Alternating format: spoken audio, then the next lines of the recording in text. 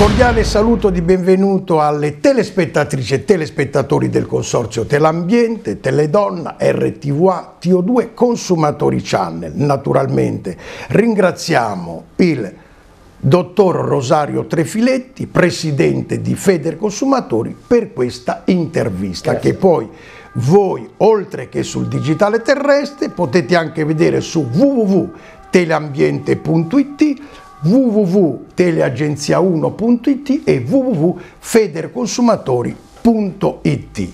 Noi siamo qui nella sede della Federconsumatori tra un impegno televisivo e un altro. Presidente Rosario Trefiletti, entriamo subito nel merito più di 13 milioni di italiani votano contro le trivellazioni in mare. Il referendum non passa, ma dà un segnale chiarissimo a Palazzo Chigi. Beh, innanzitutto diciamo che eh, io sono andato a votare e sono rimasto anche un po' esterefatto che ci siano state, eh, diciamo così, degli inviti al non voto. No, io sono uno che a votare appena c'è una votazione corro e ci mancherebbe altro.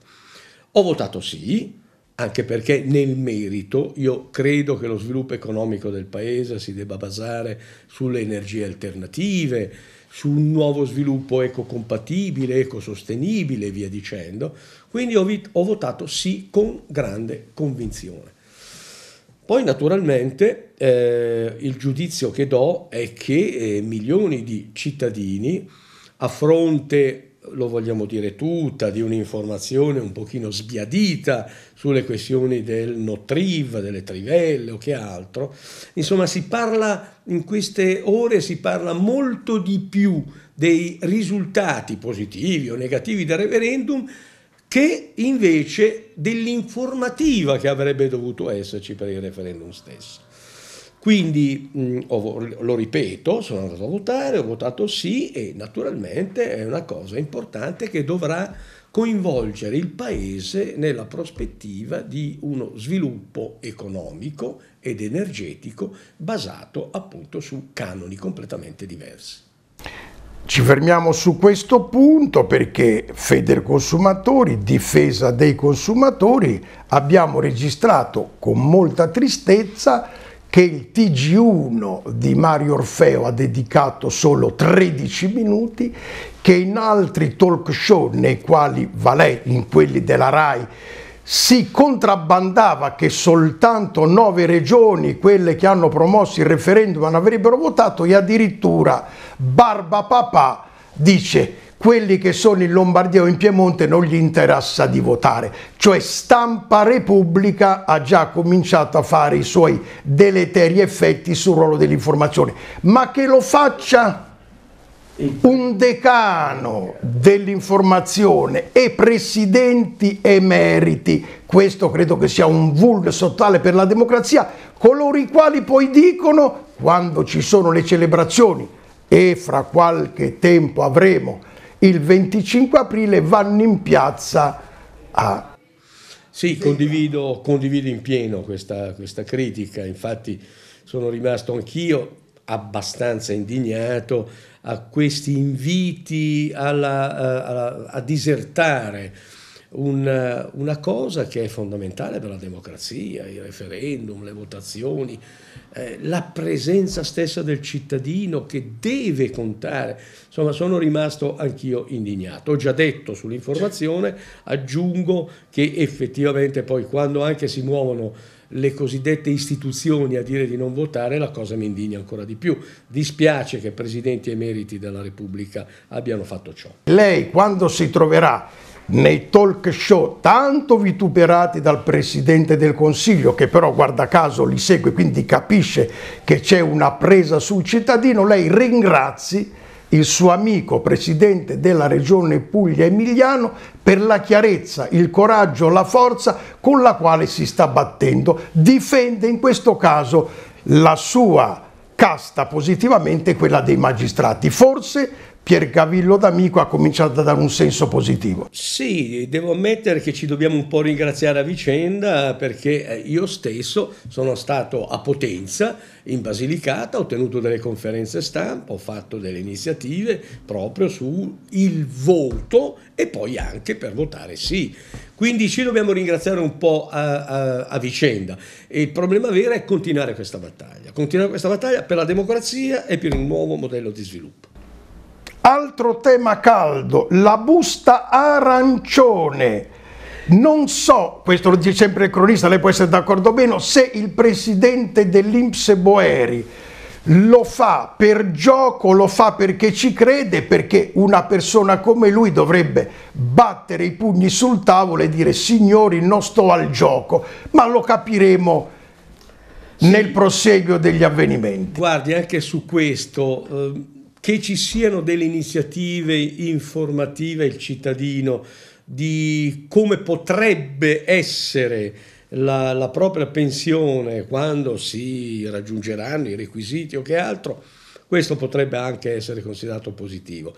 Poi per la verità, quando poi la busta arancione diventa un po' troppo oroscopo, un po' troppo distante dalla realtà eh, non virtuale ma concreta, del rapporto del cittadino con il, la propria collocazione lavorativa, operativa e via dicendo, beh, questo comincia magari a mettermi qualche sospetto. Non vorrei che fosse una bella campagna per poter spingere eh, verso forme assicurative eh, che fanno contenti e gioiose le compagnie di assicurazione, mentre invece le problematiche francamente sono altre. Certo, informare va sempre bene, però le problematiche sono quelle di arrivare a soluzioni rispetto alla tematica così importante della, eh, appunto della pensione, di quello che si andrà a prendere della pensione non dimenticando mai una cosa che ahimè mi sembra che sia un po' dimenticata nel dibattito. Noi abbiamo un sistema a ripartizione. A ripartizione cosa significa per essere chiari per i cittadini? Significa che quelli che lavorano oggi pagano le pensioni oggi in essere e la cosa continua così, quelli di domani, quelli che lavoreranno, pagheranno le pensioni di quelli che andranno in pensione domani. Se il, la questione è questa e il sistema è questo, è del tutto evidente che in un paese in cui c'è una disoccupazione al 12%, soprattutto per i giovani, drammatica, anche eticamente scorretta, al 40%, e in più non si fanno figli, beh, questo è un paese che per il sistema ripartizione, beh, eh, con questi dati si farà saltare il sistema, perché chi pagherà le pensioni se le abbiamo disoccupati da una parte e i giovani che non lavorano dall'altra? Ecco perché io dico, e abbiamo fatto anche dei calcoli, che la problematica vera delle pensioni è da un lato, e poi semmai ne parleremo, la modifica della Fornero per fare certe operazioni di giustizia, di equità per chi sta lavorando e via dicendo ma la questione vera è quella di aumentare il tasso di occupazione, non di disoccupazione. Abbiamo calcolato che se si andasse di nuovo a un tasso di disoccupazione al 6% anziché al 12% come più o meno adesso è, beh, ci sarebbero 14 miliardi di euro in più che andrebbero verso le casse dell'Inps per poter appunto, appunto sostenere il fondo pensioni e altre cose ancora. Quindi il vero problema è quello, è lo sviluppo del paese, perché con lo sviluppo del paese hai in aumento contributivo hai una diminuzione dell'assistenza che va sempre a carico del, del, del, dell'INPS rispetto alla fiscalità generale, all'INPS e via dicendo, e quindi è, il, il vero problema è lo sviluppo, poi naturalmente le regole delle pensioni. E allora possiamo già entrare sulla seconda questione, che è quella di modificare la Fornero rispetto all'uscita del ciclo produttivo, perché non è più possibile che un conduttore di mezzi pubblici in una città eh, metropolitana debba andare in pensione in uguale misura come per esempio un non si offendano i giornalisti, come per esempio il lavoro di un giornalista o l'operatività che può mettere in campo tre filetti, che può arrivare anche a 75, 80 anni. Cioè un conto è fare questo tipo di lavoro, un conto è fare un lavoro usurante. Ecco perché giustizia significa anche diversità di trattamenti. Ma il Presidente del Consiglio su questo versante eh, non ascolta perché qui si tratta di decidere quale modello di sviluppo e naturalmente teniamo conto che viviamo in un modello di struttura che è il capitalismo, quindi il capitalismo non guarda in faccia a nessuno, dove faccio guadagno mi sposto, ma per un paese come il nostro, quale prospettive ci sono. Io voglio proprio però dire un paio di questioni. Allora, la prima, eh, il sistema è questo, è il sistema del capitalismo, ma bisogna intervenire almeno su due questioni fondamentali. La prima è quella che il nostro sistema economico, il capitalismo, deve essere assolutamente sgombro da elementi di corruzione, di coinvolgimento di lobby corruttive no? corruttive e di poca trasparenza e chiarezza del sistema economico. E secondo, ci devono essere delle regole appunto di chiarezza di trasparenza e anche di verifica e di controllo da parte delle autorità. Altrimenti qui non si tratta di fare capitalismo, qui si tratta di fare far west e il far west fa pagare un po' tutti, ma soprattutto quelli che sono meno abbienti. Vediamo il caso delle banche, vediamo il caso di tutti i processi eh, nei vari settori, anche quelli energetici o che altro. Da un lato assistiamo proprio per la mancanza di verifiche e controllo e anche di deontologia e di etica a quello che abbiamo visto per quanto riguarda il disastro della Basilicata, le telefonate, le intercettazioni, le amicizie parentali e via dicendo. E dall'altra parte, e dall'altra parte abbiamo visto che la mancanza di verifiche e controllo ha comportato in alcuni settori la perdita di benessere o comunque di normale essere delle famiglie italiane per quanto riguarda il loro risparmio. Ecco perché al di là delle discussioni di carattere ideologico, la cosa vera da fare sono le grandi battaglie contro la corruzione, contro la non trasparenza, la non eh, garanzia di chiarezza appunto e di trasparenza e dall'altro lato, dall'altro lato il fatto che tu devi avere dei, dei poteri di verifica e controllo che per esempio come Banca d'Italia e Consum sono stati del tutto disattesi. Rimaniamo su questo tema, due riflessioni. La prima, dopo il referendum la premiata ditta Giorgio Matteo vuol toccare le intercettazioni perché hanno capito che sono per la loro parte politica un momento di verifica e qui entra sempre in gioco il ruolo dei consumatori. Ecco, cosa dire su questo tema? E l'altro, lei è molto chiaro nelle sue esternazioni nelle tv pubbliche, pubbliche private, nazionali, quando risponde ai sottosegretari del governo, sì, ma togliete quelle righe sulle pensioni di reversibilità. Dico subito sulle intercettazioni che noi siamo perché non siano toccate nella maniera più assoluta. Poi ovvio che ci vuole un sistema anche di autocontrollo, oltre che di controllo per quanto riguarda la privacy dei cittadini. Un conto è l'intercettazione, è l'intercettazione su un malaffare, un conto è se qualcuno, eh, che ne so, è andato a bere un, camparis, un, a bere un, un aperitivo con eh, una signora, una signorina o che altro. Ecco. L'altra questione, ecco, anch'io sono d'accordo e per la verità mi sono anche leggermente indignato no, quando, quando continuo a sentire giuriamo che non verranno toccate, no, vi assicuriamo e non verranno, no, è, è, semplicissimo, cancellate quelle quattro righe che sono scritte nella legge di povertà e nella legge anche di stabilità, cancellate laddove si dice che si possono utilizzare sistemi di razionalizzazione, di pensioni, bla bla bla bla, ma io traduco in concreto, sono le pensioni di reversibilità. Quando non ci saranno più quelle 4-5 righe, no? Allora io crederò alle promesse che fanno i politici che vengono a dire non saranno toccate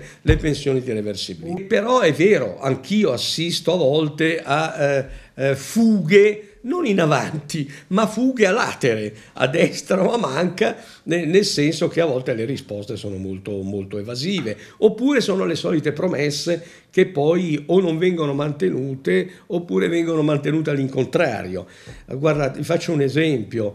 Eh, questa questione per esempio dell'IVA, del, del sistema di, delle clausole di garanzia vengono sempre dette ma non c'è problema, non c'è problema, poi insomma la traduzione del non c'è problema è che bisogna pagare 15 miliardi, altrimenti scattano le clausole di garanzia che sono l'IVA di salvaguardia, di garanzia, che sono l'IVA che aumenta fino al 25,5%, con una ricaduta, abbiamo calcolato anche quello, di circa 800 euro in più a famiglia. Allora, per cortesia voglio maggiore chiarezza e determinazione e soprattutto, lo dico francamente, non voglio più vedere clausole di, di salvaguardia o di garanzia come le chiamo io.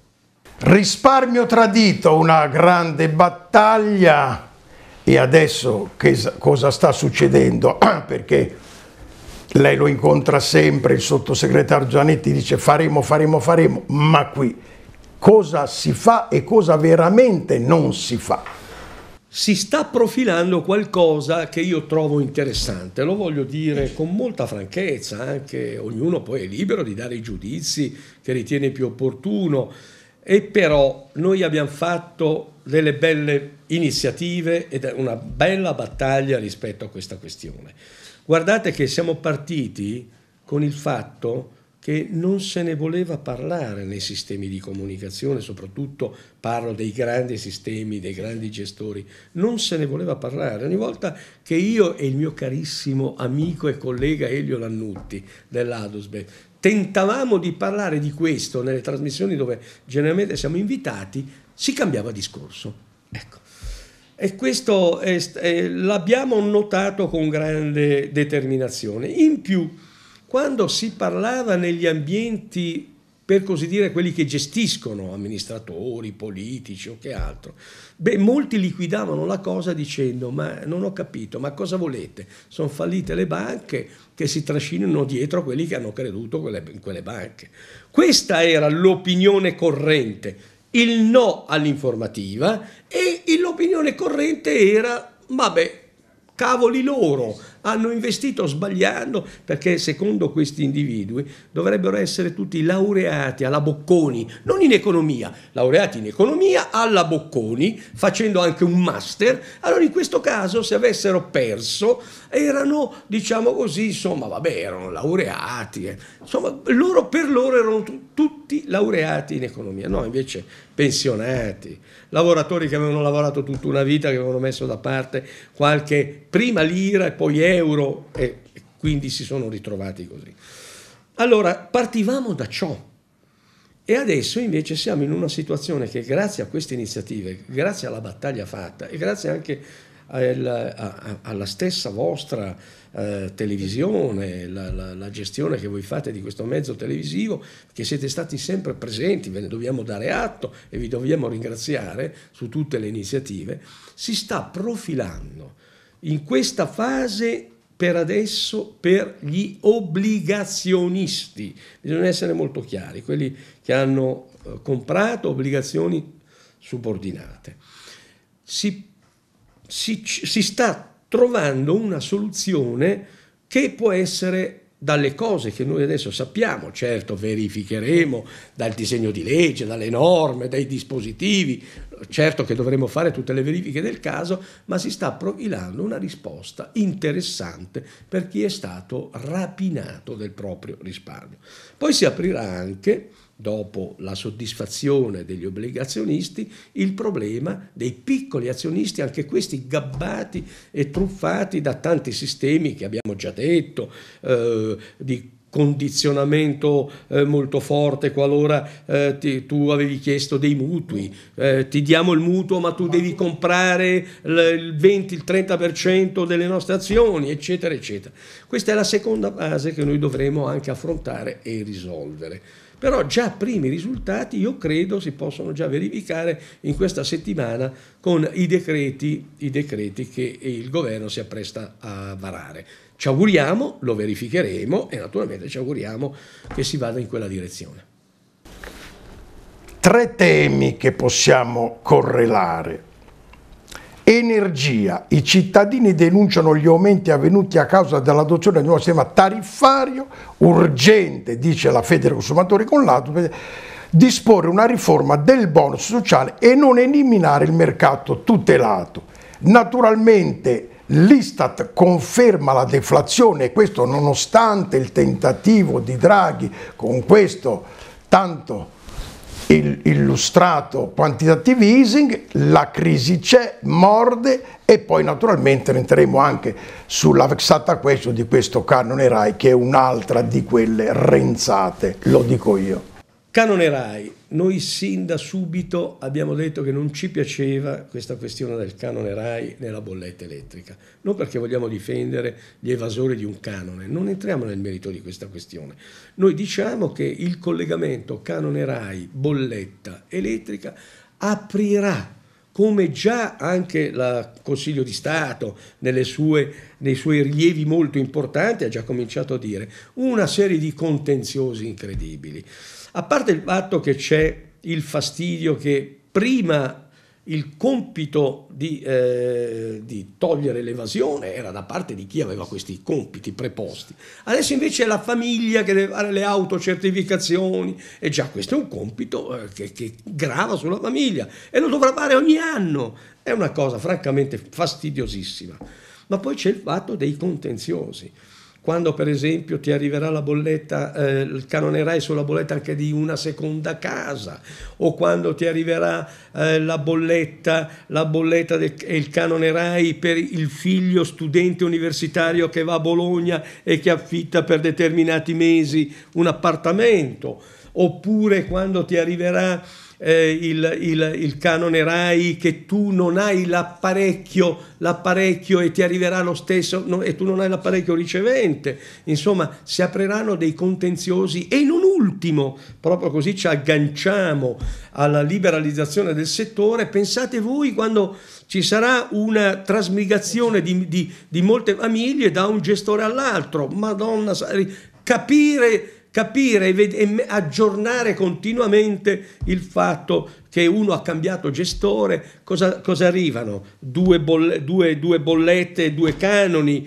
un, non arriva nessuna bolletta, nessun canone per poi fartela pagare tutto in un botto dopo, insomma ci sarà un contenzioso importante. Quindi noi siamo sempre stati contrari e noi ci auguriamo che qualche che si, ci sia almeno un sussulto di responsabilità rispetto a queste questioni. Detto ciò, entriamo nel merito dell'energia.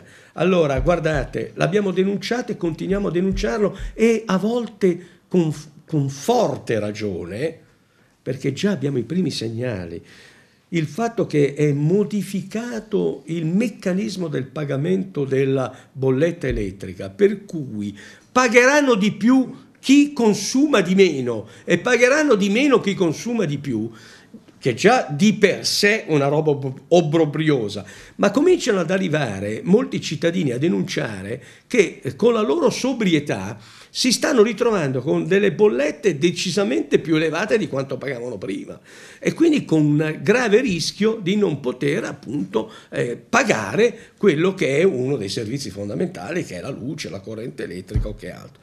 Ecco, quindi su questa questione bisogna riflettere perché sarà una bastonata molto forte per i cittadini, soprattutto quelli più sobri.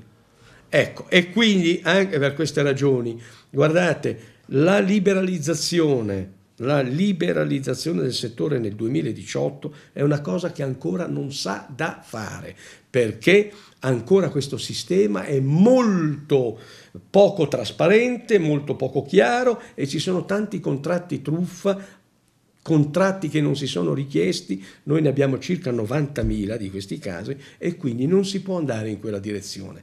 Ma lei mi deve permettere che mentre parlavo mi è venuto in mente perché questa questione della liberalizzazione del settore fa parte di una legge che abbiamo considerato abominevole, il disegno di legge concorrenza che è stato in discussione alla Camera, in discussione al Senato e adesso dovrebbe ritornare alla Camera. Noi ci auguriamo che questo disegno di legge venga cassato, venga assolutamente ritirato. E guardate, l'abbiamo denunciato in tempi non sospetti. Adesso si denuncia giustamente la Guidi, ma avevamo già denunciato che quel disegno di legge che è stato sfornato dal, dal Ministero dello Sviluppo Economico, dalla, dalla Guidi, dall'ex, dall'ex ministro, era un disegno di legge che faceva solo ed esclusivamente favori alle imprese, alle imprese elettriche, alle imprese energetiche, alle imprese di telecomunicazioni, alle imprese di assicurazione e alle banche. E allora che cos'è che vi andate a stupire? No? Che una lobby sia intervenuta sul eh, petrolio in Basilicata, ma lì nel disegno di legge erano tutte le lobby che erano già intervenute rispetto a queste questioni che avrebbero dovuto portare invece favori e vantaggi ai cittadini, non alle grandi imprese. Quella denuncia che noi facciamo in Parlamento, non solamente con i comunicati, c'è una registrazione in Parlamento di questa, di, queste, di questa, nostra denuncia. Beh, insomma, trovò abbastanza zitti molti interlocutori, mentre invece avrebbero dovuto parlare e denunciare la cosa. Sulla questione della TIM, l'ex Telecom, adesso TIM, che vorrebbe togliere anche quei canoni ai pensionati perché dice anche voi dovete pagare la DSL, c'è stata una pronuncia negativa dell'Agcom. Forse questo cominciate a interessare gli, i diretti interessati perché anche per l'energia accada ciò. Ma certamente, ma infatti su questo anche qui abbiamo eh, denunciato la cosa, abbiamo fatto intervenire l'autority che è intervenuta bene, si tratta di modificare questi meccanismi che svantaggiano appunto le fasce deboli del paese, i consumatori, quelle, quelle, quei, quei, quelli più deboli, perché un conto sono i grandi fruitori di questi servizi, un conto sono i pensionati che fanno qualche telefonata al giorno. E poi diciamola tutta, anzi, se qualche pensionato fa qualche telefonata in più è meglio, almeno tiene il rapporto telefonico che dovrebbe invece essere personale con figli, nipoti, parenti, perché molte volte c'è la, diciamo così, la solitudine del pensionato, dell'anziano, che invece essere, dovremmo essere un po' tutti più accorti. Chiudiamo con questo tema dei consumi, la ripresa, la domanda interna e il mercato occupazionale. Allora, questo è il punto vero della situazione. Lo sviluppo economico, se c'è, non c'è, cosa fare, cosa non fare. Allora, intanto riconfermiamo che la nostra economia non può mica basarsi solo sull'esportazione, perché se si basasse solo sull'esportazione, a parte che sarebbe sbagliato, su, ma anche in termini pratici, se poi succede che la, per la battaglia tra l'Arabia Saudita e la Russia, che sono paesi in cui esportiamo, si corre il rischio che poi la caduta del potere d'acquisto dei russi scende, oppure anche perché ci sono le sanzioni o che altro, ma il discorso ci porterebbe troppo lontano e quindi la domanda di mercato scende notevolmente su quei paesi che esportiamo, beh, non è una risposta di carattere strutturale come noi vorremmo che fosse. Quindi le, le nostre esportazioni sono anche esportazioni che si basano sui condizionamenti internazionali, esterni al nostro paese. Non possiamo basare il nostro sviluppo su condizionamenti che possono essere labili o comunque mutevoli. E quindi questo è il primo punto. Dobbiamo puntare molto sullo sviluppo interno. Ma guardate, non c'è sviluppo interno se non si mette mano a un problema fondamentale, che è quello dell'occupazione. Quello dell'occupazione non è solo un problema etico, lo è certamente, perché i giovani che non lavorano al 40% è un problema etico. Un paese civile se ha il 40% dei suoi giovani che non, che non lavorano, no, non è, eh, non è etica la cosa. Però non è solo un problema etico, è un problema anche di carattere economico.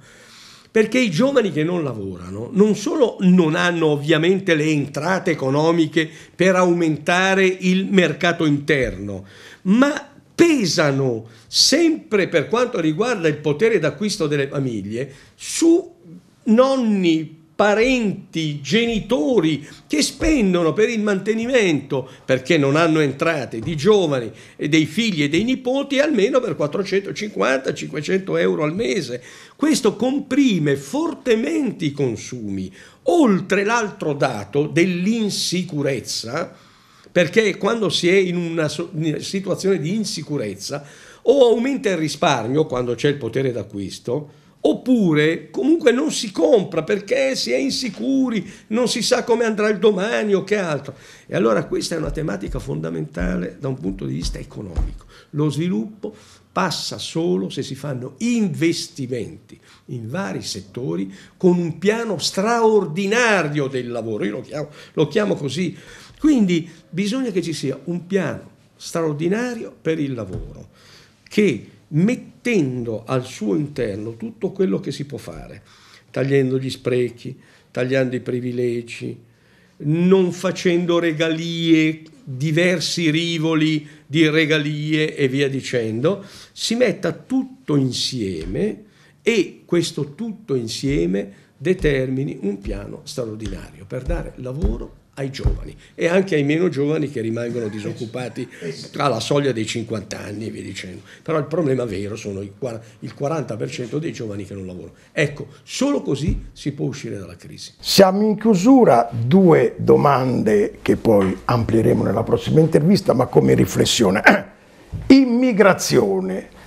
Tutti ne parlano, ma nessuno dice un tema più importante non, non, causate le guerre in quei paesi e sicuramente non avremmo avuto questo dramma Saddam Hussein, Gheddafi e i tentativi di far cadere Assad che hanno creato una tragedia. Oggi sono preoccupati dell'Egitto, non hanno capito che l'Egitto si vuole annettere la Cirenaica come vecchio progetto degli anni 50 lei lì le parlano sempre di questo tema, ecco, ma ditegli, ma siamo noi che esportiamo le armi, smettiamola, perché poi questa questione dell'immigrazione è un gioco sempre a un finto buonismo o allo sfruttamento di manodopera che poi determina la crisi dei paesi.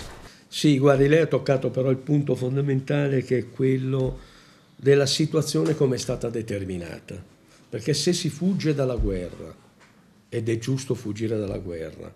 E se la guerra l'abbiamo determinata noi occidentali, beh, assumiamoci anche le responsabilità di quello che abbiamo fatto, che non è solo la rivisitazione delle scelte e dire abbiamo sbagliato, come già sento dire anche importanti leader, abbiamo sbagliato. Sì, ho capito, abbiamo sbagliato, ma poi ci vogliamo anche correre ai ripari.